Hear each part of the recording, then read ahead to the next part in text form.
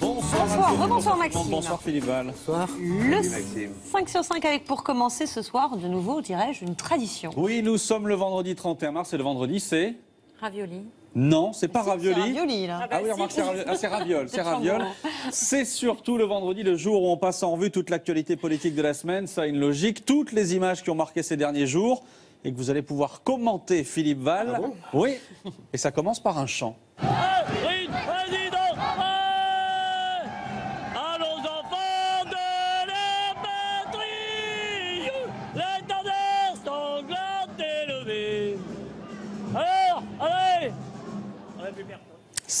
C'était dimanche dernier, oui.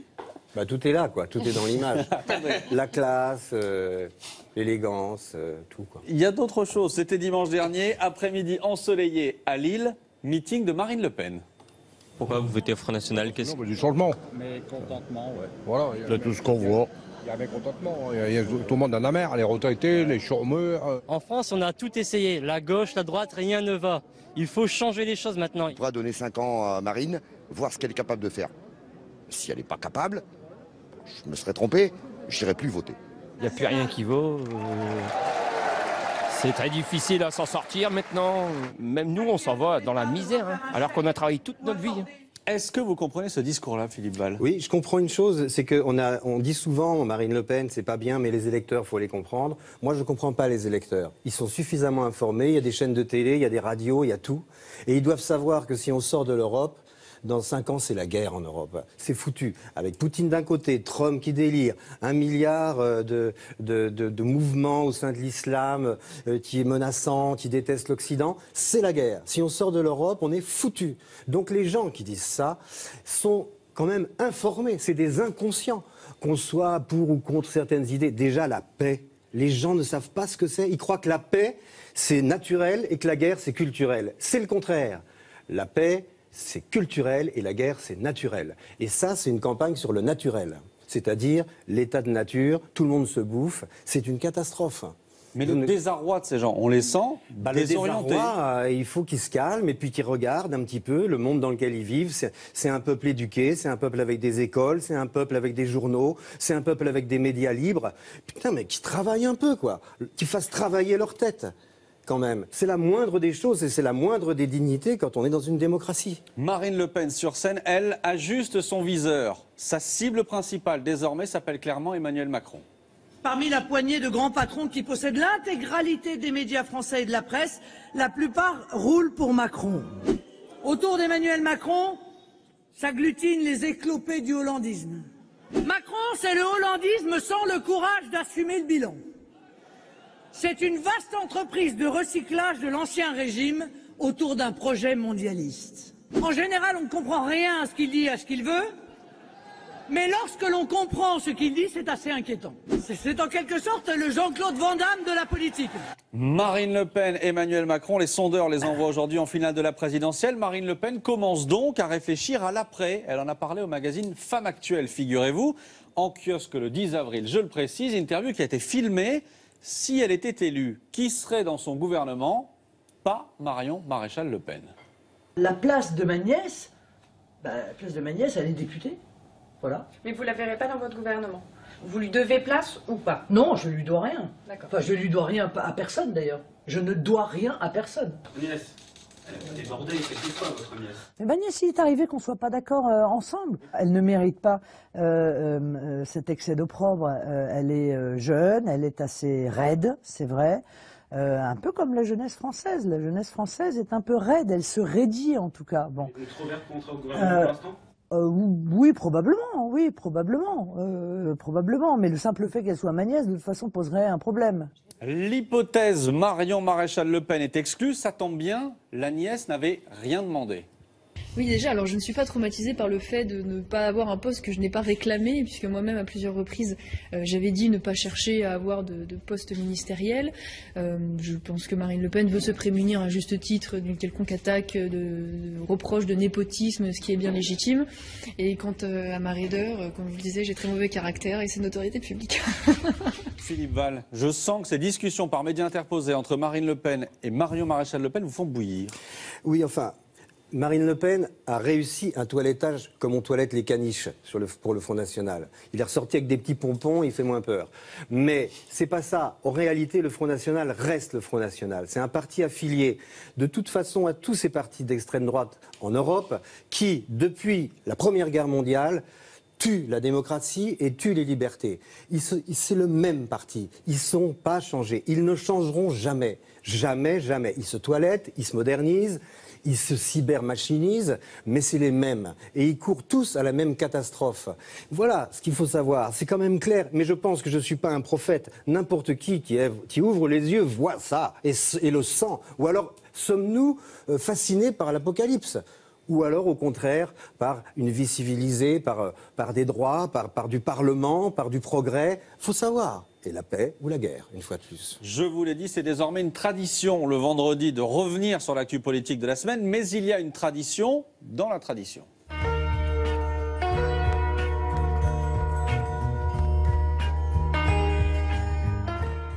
Oui, désormais on fait le point, comme chaque semaine, sur les affaires, avec cette triple mise en examen mardi pour Pénélope Fillon. Complicité, recette de détournement de fonds publics, complicité, recette d'abus de biens sociaux, recette d'escroquerie aggravée. Pénélope Fillon mise en examen comme son mari et comme le suppléant de son mari à l'Assemblée, Marc Joulot. Mais rien ne prouve, rien ne prouve qu'elle ait occupé un emploi fictif. C'est en tout cas ce que disait hier matin François Fillon sur RTL, avec une formule que certains ont trouvée un peu curieuse. Je vous le dis euh, comme ça, les yeux dans les yeux, ici, euh, jamais euh, les juges ne pourront euh, démontrer que l'emploi de mon épouse était fictif. Donc votre femme, au cours de... Deux choses, évidemment, les yeux dans les yeux, ça rappelle Jérôme Cahuzac. Jérôme Cahuzac, évidemment. Mais il y a cette phrase jamais les juges ne prouveront que c'était un emploi fictif. Certains y ont vu un demi-aveu. Bah oui, c'est un peu. Alors maintenant, il y a quelque chose de... qui n'a rien à voir avec la politique et rien à voir avec les idées politiques, mais il y a un effet de meute qui aboie autour de cette pauvre femme, et il y a quelque chose de la meute là qui dégoûte et qui pourrit euh, un normalement ce qui aurait dû être un beau débat présidentiel. Mais est-ce que c'est la meute En l'occurrence, vous accusez qui Les Non, médias? Non, non, non, c'est oui, enfin tout le monde, ça y est, c'est l'effet de meute. Non, j'accuse pas spécialement les médias, ils ont sans doute déconné, ils ont fait, ils ont fait des choses qui doivent pas être faites quand on se prétend propre euh, et nickel. Mais cette espèce de campagne morale à la place d'une campagne politique, on va la payer très cher. Voilà, c'est ça que je veux dire. Et puis la pureté, est-ce que c'est vraiment une bonne chose? Est-ce que la démocratie, c'est pas justement la gestion de l'impureté Je sais que c'est compliqué ce que je suis en train de dire, mais, mais on ne peut pas demander aux gens d'être purs. C'est un monde de, totalitaire, la pureté. Il faut L'honnêteté, elle doit aller de soi. Mais elle ne doit pas être le cœur du débat. Quand elle est le cœur du débat, c'est qu'on est quand même un peu dans la merde. Mais si on dévie l'honnêteté, il faut en parler. Bien sûr qu'il faut en parler, bien sûr. Mardi, donc, mise en examen de Pénélope Fillon. Et mercredi, l'aveu. L'aveu de Manuel Valls. Je pense qu'il ne faut prendre aucun risque pour la République. Et donc, je voterai pour Emmanuel euh, Macron, parce que face à la crise de la gauche et à la marginali- marginalisation de notre candidat, du candidat euh, désigné par la primaire euh, Benoît Hamon, je ne veux pas, le soir du premier tour, que nous nous retrouvions, que je me retrouve, parce que c'est aussi possible face au choix entre François Fillon et Marine Le Pen. Je n'ai Vous rien à- participerez à la campagne d'Emmanuel je Macron n'ai rien à négocier et je ne demande rien. Ce n'est pas un ralliement. C'est une prise de position responsable. Oui, l'ancien Premier ministre socialiste votera Emmanuel Macron, qu'il en remercie. D'abord, je l'en remercie. Je pense que ça traduit ce que j'avais indiqué il y a plusieurs mois, c'est-à-dire que les primaires n'étaient pas en situation de regrouper l'ensemble de la gauche. Je serai le garant du renouvellement des visages, du renouvellement des pratiques, derrière laquelle... Ça veut dire que vous ne gouvernerez pas forcément avec lui si vous êtes élu. Vous l'avez compris. Emmanuel Macron, soutenu par Manuel Valls, mais avec qui il ne gouvernera pas s'il est élu. Un spectateur très en colère regarde tout ça de loin. La parole donnée, la parole signée, devant le peuple, doit être scrupuleusement respectée. Je vous demande de sanctionner ceux qui se prêtent à ce jeu morbide et je vous demande en même temps de tourner la page de cette vieille politique, de tourner le dos à ces politiciens qui ne croient plus en rien et qui vont là où le vent va, au mépris de toute conviction. Est-ce que vous comprenez cette colère froide de Ah, moi, je comprends que quand on a la main dans le pot de confiture, euh, on soit en colère. Mais Mac- euh, Hamon, il a déjà trahi son parti au moment du référendum européen. Il a été déloyal avec son gouvernement. Euh, donc, euh, il s'attaque à. Il dit Manuel Valls euh, trahit son honneur en quelque sorte. Mais Manuel Valls, il trahit pas son honneur. Qu'est-ce que c'est trahir son honneur? C'est aller jusqu'au bout de renoncement avec des gens avec lesquels on n'est fondamentalement pas d'accord sur des sujets décisifs ou être fidèle à ses idées. En l'occurrence, Valls, il a eu le courage d'être fidèle à ses idées contre vent et marée. Moi, je trouve que c'est plutôt une belle chose qu'il a faite, Valls. Je ne dis pas pour qui je vais voter, ça regarde personne, mais j'ai aimé cette attitude de Manuel Valls, qui est fidèle à ce qu'il est. Il- Pas un homme politique. Il est vraiment fidèle à ses idées. Vous pensez Je que c'est pense pas qu'il est juste profondément euh, fidèle à ce qu'il est. euh, Non, je pense, qu'il a- pense qu'il a vraiment peur. Je pense qu'il a vraiment peur. Parce que oui, il a vraiment peur de ça. Il a peur d'une dislocation de l'Europe si la France flanche. Et il a agi en homme responsable. On n'est pas dans une cour de récré. Ah, t'as marché sur ma marelle, t'avais dit que tu marcherais pas sur la marelle. Les enjeux sont beaucoup plus graves que ça. C'est à la lumière des enjeux qu'il faut juger de la, de la, de la loyauté des Mais alors, gens. s'il pensait que les deux gauches pouvaient pas cohabiter, pourquoi il participe à la primaire? Pourquoi Parce il joue que- le jeu parce de- qu'il a peut-être cru naïvement, d'abord qu'il gagnerait, Mm. et puis qu'ensuite il pourrait peut-être faire changer d'avis sur certains points du programme de Hamon. Ça n'a pas été le cas.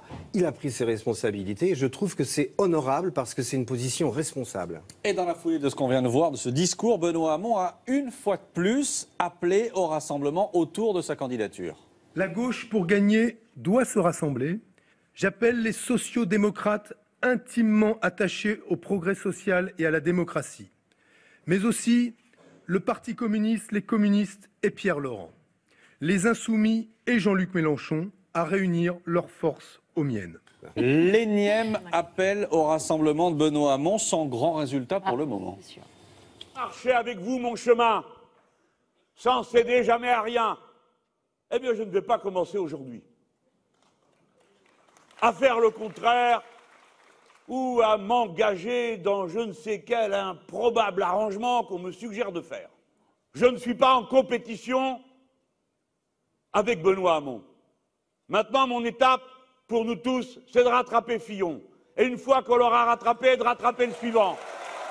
Donc il laisse Hamon loin derrière. Il laisse Hamon- Benoît, Benoît Hamon loin derrière. Il peut rattraper François Fillon? Oui. Il y a peu de. En trois semaines Oui. Il y a 3-4 ans. Oui, pour- pour- moi, vous savez, je- ma pre- la première partie de ma vie, c'était dans le spectacle. Et je je, je, je sais pas si j'étais un, un bonhomme de spectacle, mais lui, je peux vous dire que c'en est un vraiment bon. quoi. Et Là, il est candidat à la il est la formidable. Ah, mais il, a- il fait un show formidable. Après, s'il loupe l'élection, il faut qu'il fasse l'Olympia. Attends, il y a une tradition de tribun en Mais France il, le comme faisait, ça. ouais. il le faisait déjà en 2012 et Oui, ça n'a oui, pas oui. forcément Non, fonctionné. mais là, il a une espèce de créneau qu'il n'avait pas, c'est-à-dire une gauche en miettes et une droite en miettes. Oui, un contexte Parce que les primaires ont, ont été deux bombes à, frag- à frag- à fragmentation, à droite comme à gauche, et il a quand même une ouverture qu'il n'avait jamais eue, et puis il a beaucoup de talent, et puis il est cultivé contrairement à beaucoup, et puis euh, il sait parler aux gens. euh, voilà. euh, Moi, c'est pas mon... J'ai de l'estime pour le monsieur, mais, mais je voterai pas pour lui, mais qu'importe. mais- Ça commence à se préciser. Oui, ça se précise, ça se précise. Une question de ce 5 sur 5. Que fera François Hollande quand il aura quitté l'Elysée Le président s'est confié à une journaliste du Monde cette semaine, on en a parlé ici. C'était en Malaisie, et voilà ce qu'il dit. Il n'y a pas de retraite, il n'y a pas de retrait, il y a autre chose qui arrive après l'Elysée. François Hollande refuse de dire qu'il quittera la vie politique, il dit simplement qu'il ne sollicitera pas de nouveau mandat local. Il n'a pas de plan. Je vais m'occuper de moi, réfléchir, faire ce que je n'ai pas pu faire, lire, voyager dans le pays plus sobrement. Est-ce que ça ressemble au François Hollande que vous connaissez? Non.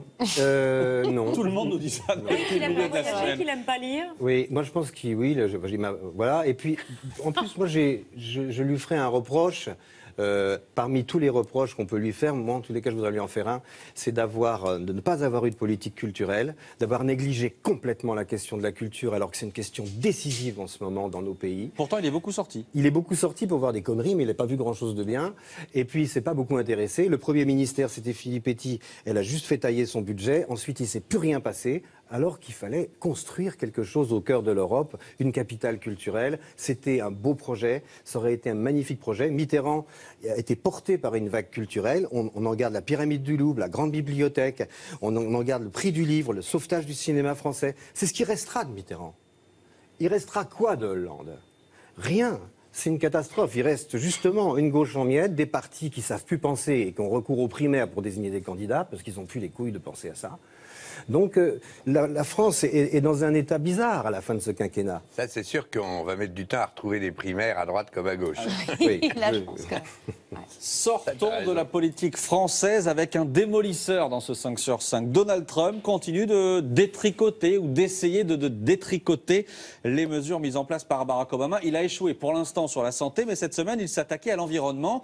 Il a signé un décret qui remet en cause toute la politique environnementale d'Obama. Obama voulait forcer les États américains à augmenter la part des énergies renouvelables. Donald Trump, lui, il fait tout l'inverse. D'abord en réduisant considérablement le budget de l'Agence pour l'environnement. Ensuite, en redorant par exemple le blason du charbon, l'environnement visiblement attendra. We will put our miners back to work. My administration is putting an end to the war on coal. Going to have clean coal, clean coal. We are lifting the ban on federal leasing for coal production. We will produce American coal to power American industry. I want to thank the miners. You know, my guys, they'll get enough thanks. These people haven't had enough thanks. Vive le charbon Et alors regardez la réaction hallucinée du démocrate Bernie Sanders. It is beyond belief that we have the leader of the most powerful country on earth not believing in science. President Trump's anti environmental executive orders are a disaster. They are a threat to the future of this country and to the future of the world. Retour dans le passé avec Donald Trump? Oui, enfin, depuis la Première Guerre mondiale, l'avenir de la sécurité et de la liberté en Europe dépendait grandement des États-Unis et on les remercie, on les bénit pour ça. Mais c'est fini là. Tant qu'il est là, lui, on est tout seul. Et peut-être qu'au au bout du compte, c'est peut-être une chance, parce que ça va, ça va donner une responsabilité à l'Europe, parce qu'aujourd'hui, l'avenir de cette liberté et de cette sécurité, elle ne dépend plus que de l'Europe, moins l'Angleterre. Donc, il faut vraiment qu'on se bouge. Sinon, ça va vraiment mal se passer. Trump d'un côté, une fois de plus, Poutine de l'autre, plus le problème de, de la radicalisation en islam, ça ne repose plus que sur nos petites frêles épaules. Et ces élections, pour ça, sont décisives. Voilà, Trump, ça doit vraiment nous rappeler ça. Peut-être que c'est une chance. Peut-être qu'on va avoir la chance de prendre conscience et de se ressaisir. Sinon, c'est mal parti. Merci beaucoup, euh, Philippe Val. Je rappelle le titre euh, du livre, Le journal des présidents, avec les dessins de Camus. De c'est euh, chez Michel Lafon. Merci encore d'être venu nous voir. Maxime, je crois que vous avez juste un petit